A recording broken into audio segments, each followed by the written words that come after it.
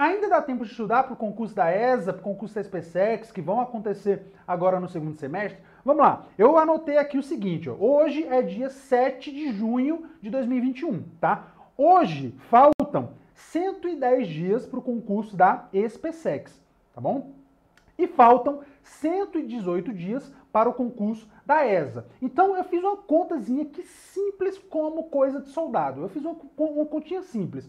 Eu multipliquei 110 por 7. Por quê?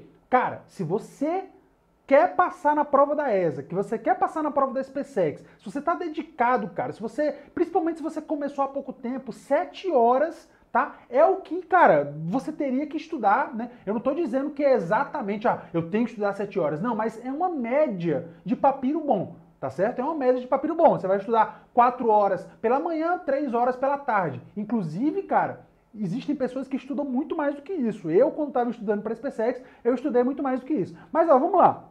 Se você for fazer a prova da SpaceX, tá? Se você estudar 7 horas por dia, todo santo dia, tá? O que não é nada de outro mundo, você tem 805 horas de papiro. Isso é papiro pra caralho, é muita coisa, tá? ESA, 118 dias vezes 7. Você tem 826 horas de papiro. Isso é coisa para caralho, ó. É muita coisa para você estudar, combatente. É muito tempo. Agora, o problema é que os alunos iludidos, vamos chamar assim, aqueles caras que acham que vão passar, tá? Só porque estão pegando bizu na internet. Esses caras, eles não estão preocupados, eles não entendem isso. Enquanto que o bom aluno, ele sabe disso. Ele está focado. O bom aluno entende que ele ainda tem muito tempo pela frente. Tá? Então, o bom aluno, e eu quero que você seja um bom aluno, o bom aluno ele aproveita o tempo dele. E ele aproveita o tempo dele para quê? Para estudar. Não é para fazer outra coisa, é para estudar. Porque tempo tem, guerreiro. Tem muito tempo pela frente. Tem muito tempo pela frente. Mesmo que você. Cara, tenente, eu não consigo estar 7 horas por dia, porque eu trabalho, eu estudo 3 horas e meia por dia.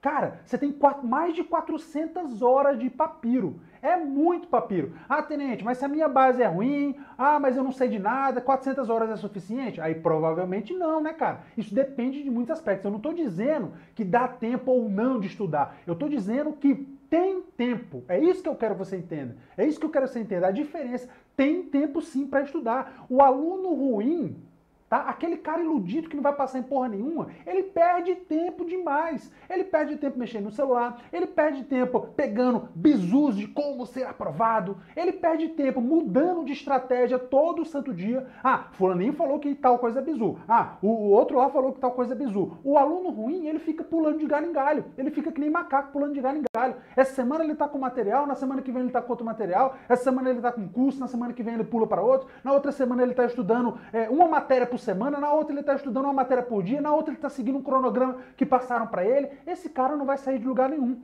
Tá? Então, o aluno ruim, ele perde tempo demais. Dá tempo de estudar, tenente? Dá. Tem muito tempo, cara. Tem tempo demais para estudar. Nesse momento que eu estou fazendo esse vídeo aqui. Então, tem momento, tem muito tempo para você estudar. Agora, a pergunta que eu te faço é: você está aproveitando o seu tempo?